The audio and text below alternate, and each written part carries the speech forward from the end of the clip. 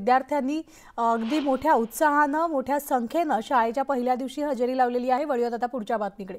कोकण आणि मुंबईमध्ये दाखल झालेला मान्सून हळूहळू राज्याच्या इतर भागात पुढे सरकू लागलाय. तर मुंबई आणि परिसरात चांगला पाऊस झाला असून तलाव क्षेत्रात रिमझिम पाऊस झालाय.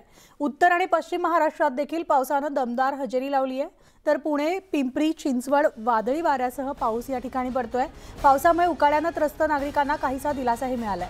तर कालपासून राज्यातल्या विविध भागामध्ये पावसाचं आगमन झालंय आणि त्यामुळेच आता उकाड्यानं त्रस्त नागरिकांना काहीसा दिलासा मिळालेला आहे. तर शेतकऱ्यांमध्ये सुद्धा आनंदाचं वातावरण पाहायला मिळतंय.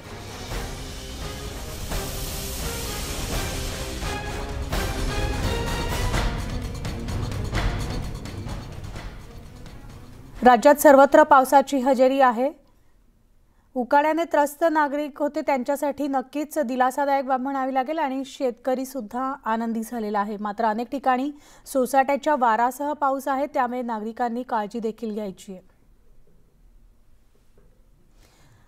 त्याचबरोबर आता बातमी आहे मुंबई